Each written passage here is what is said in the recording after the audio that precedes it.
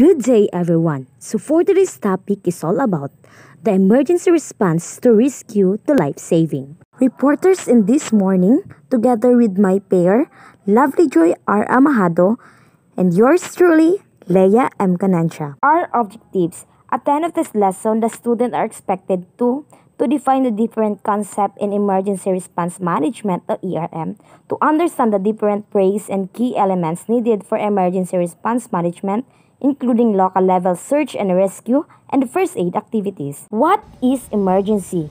Emergency is such an event, actual or imminent, which endanger or threatens to endanger life, property, or the environment, in which requires significant and coordinated response.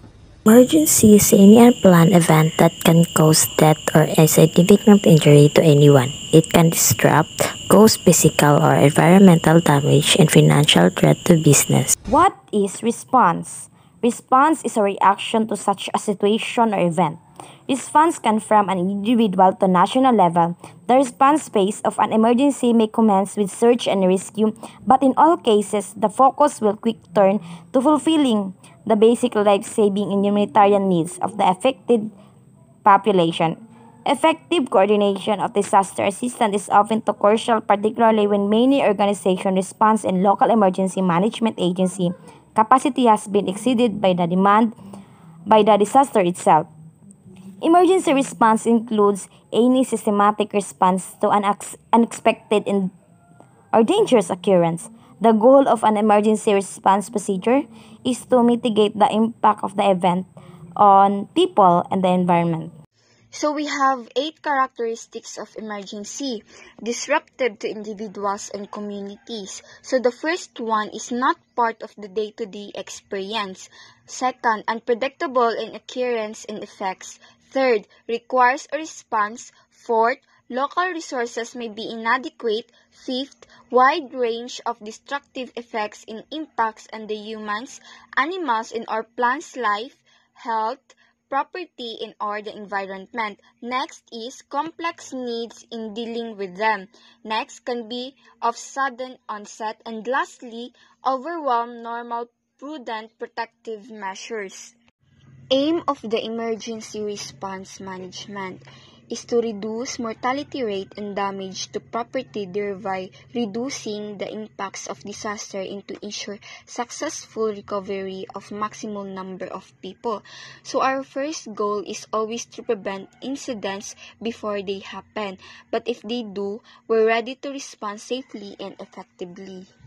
The importance of timely and coordinated response depending on injuries sustained by the victim, outside temperature, and victim's access to air and water. The vast majority of those affected by a disaster will die within 72 hours after impact. So here are the activities included in emergency response management. So first, we have the search and rescue, firefighting, emergency medical assistance including the first aid, mass casualty management, and physiological first aid. Next, we have the transportation of victims, need assessment survey, hospital preparedness, evacuation, provision of food and non-food items, um, temporary shelter, emergency repair of critical facilities, the lastly, security measures, tracing, family reunification. Preparedness for effective response. Preparedness measures can take many forms including the construction of shelters, installation of warning devices, creation of backup lifeline services, and including here the power in the water, and also rehearsing the evacuation plans. So, in the preparedness phase, emergency managers develop plans of action for when the disaster strikes. So, we have four common preparedness measures, including the communication plans with easily understandable terminology and methods.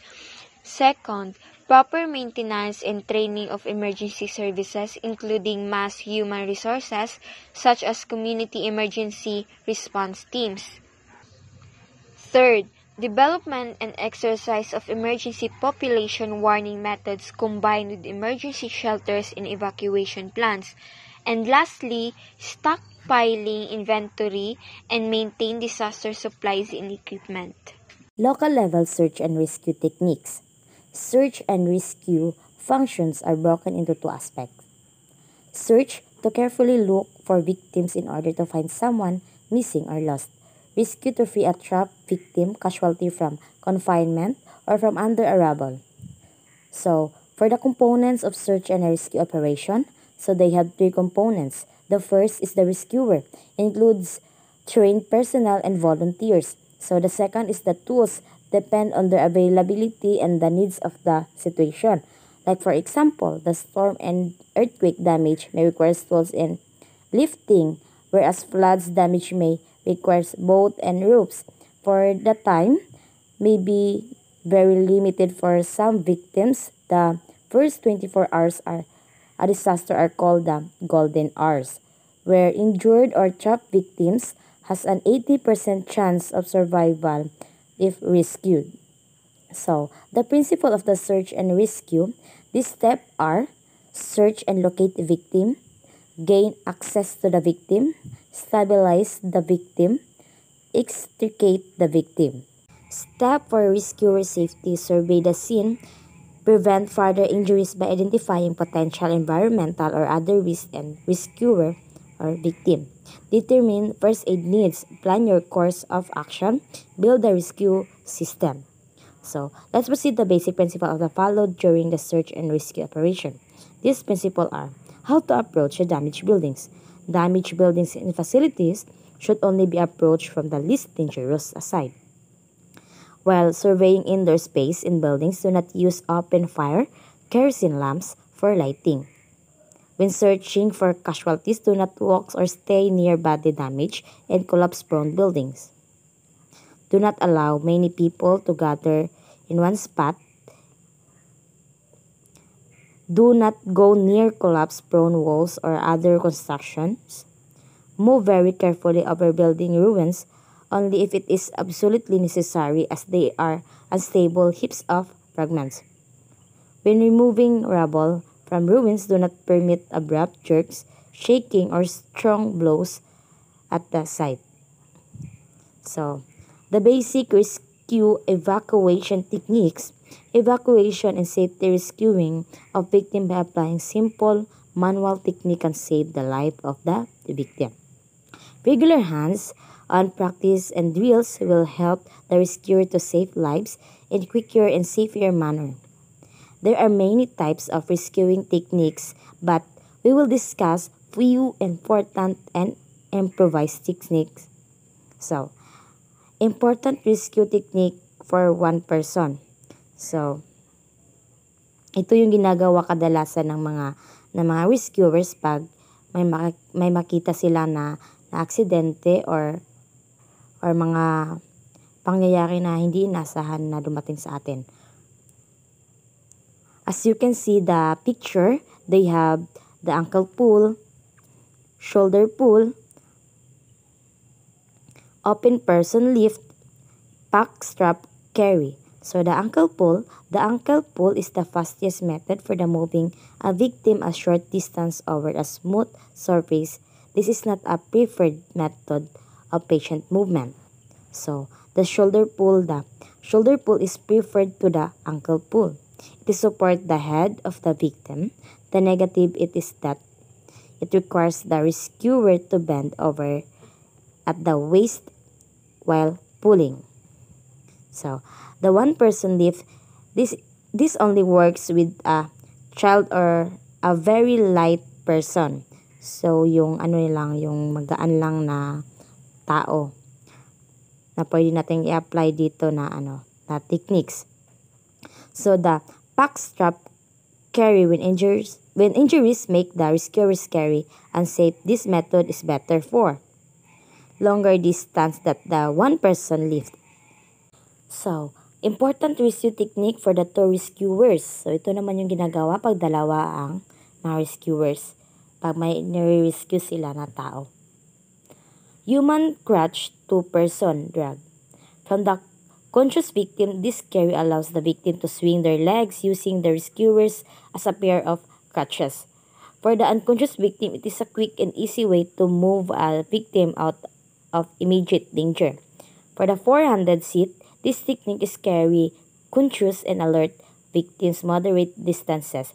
The victim must be able to stand unsupported and hold themselves upright during transport. Two-handed sit. This technique is to carry a victim longer distance. This technique can support an unconscious victim. For the chair carry, this is a good method for carrying victims up and down stairs or too narrow or uneven areas. Improvised stretcher. This technique requires two poles pipes strong enough to support the victim's weight and at least two shirts. Basic medical first aid techniques. First aid, the initial immediate assistance or treatment given to someone who is injured who has suddenly fallen ill before the arrival of an ambulance, doctor, and other appropriately qualified person. First aid priorities. Assess the situation quickly and calmly. Protect yourself and casualties from danger. Assess the conditions of all casualties, comfort and reassure the casualties Deal with any life-threatening condition first. Obtain medical aid if necessary. For the search and locate victims, following good practice guidelines will help to prevent the spread of infection. If facilities are available, wash your hands thoroughly with soap and water before and after treating a casualties.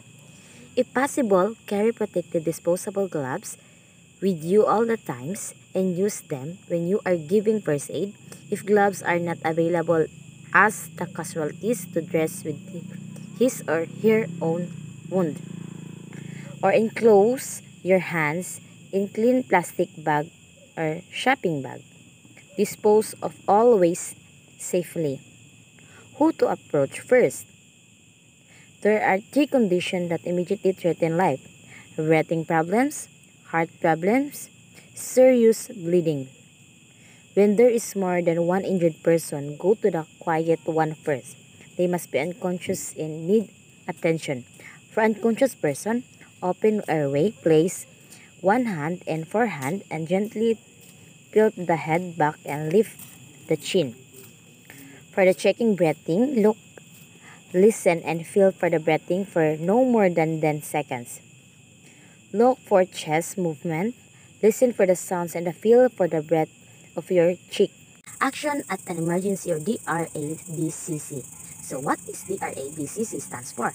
D. Danger. A. Airway. B. Breathing. C. Compression. C. Circulation. So for the D. Danger, assess the situation. Are there any danger to yourself or an injured person? If it is there, either remove the danger or take the casualty out of danger. So for the R response, assess the person for, for responsiveness, do they respond to your voice and being gently shaken. For the A, airway, check and open the airway place, one hand on the forehead, tilt the head back and lift the chin. For the B, breathing, cheek breathing, look, listen, and feel for breathing. Look for chest movement, listen for sounds and breathing and feel for breath on your cheek. Do this for no more than 10 seconds. If the person is breathing normally, assess for life-threatening injuries and then place in the recovery position and maintain an open airway. For the C is compression. If they are not breathing normally, send a helper to call ambulance and start CPR. Cycles of 30 chest compression followed by 2 rescue breaths or only continue chest compression at the rate of 100 compression per minute. For the C is circul circulation. Look for blood pumping for pouring out of a wound control it with direct pressure, look for normal tissues color. How to do the recovery position. First, place arm nearest you at a right angle with palm facing up. Next, move other arm palm upward against the person's cheek. Then get hold of the knees farthest from you and pull up until the foot is flat on the floor. Next, pull the knee towards you, keeping the person's hand pressed against their cheek and position the leg at a right angle. What to do if the person is bleeding? First, check whether there is an object embedded in the wound. Second, if there is nothing embedded, press on the wound with your hand, ideally over a clean pad and secure with a bandage. Lastly, raise the wounded part above the level of the heart. Shock. The most common cause of shock is severe blood loss. This is life-threatening condition and occurs when vital organs do not get enough oxygen due to reduced blood circulation. Burns and scalds. Cool the burn area as quickly as possible by placing the affected area under cold running water for at least 10 minutes. Next, cover the injury using a clean pad or clean film and seek medical advice. Call for help in severe cases. For strains and sprains, we can apply the RICE method. R stands for rest the injured part. I. Apply ice or a cold compress for first 30 minutes. C. Compress the injury with a compression bandage. And E. Elevate the injured partitionally by the RICE. Fractures. A fracture is a break or crack in a bone. Management. Encourage the casualty to keep still, steady, and support the injured limb.